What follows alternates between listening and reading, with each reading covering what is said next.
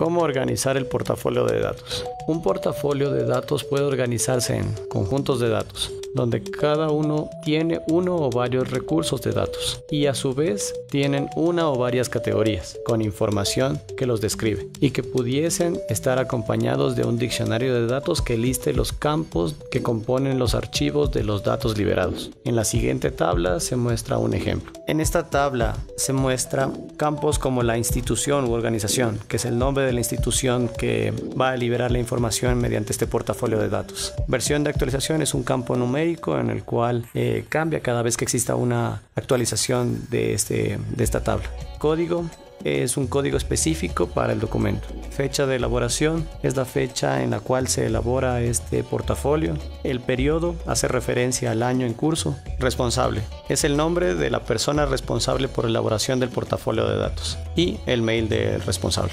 En el detalle del portafolio de datos se puede observar a manera de columnas el número, el nombre del conjunto de datos, los recursos, la descripción, la fecha de publicación, el área a la que pertenece, el formato de publicación, las categorías y las licencias. Empecemos por el nombre del conjunto de datos. A manera de ejemplo, presupuesto general del Estado ecuatoriano. En función de los recursos tendríamos un presupuesto general del Estado para el año 2014, 2015, 2016. A manera de descripción, se especifica los años y los campos de ingresos o gastos. La fecha de publicación es la fecha específica de publicación del presupuesto. Cada uno de ellos varía acorde a la fecha del presupuesto específico. El área administrativa es el área específica que genera la información. El formato de publicación, en este caso manera de ejemplo, es formatos XLS o CSV. La categoría es una categorización específica como finanzas, gobierno o presupuesto. Las licencias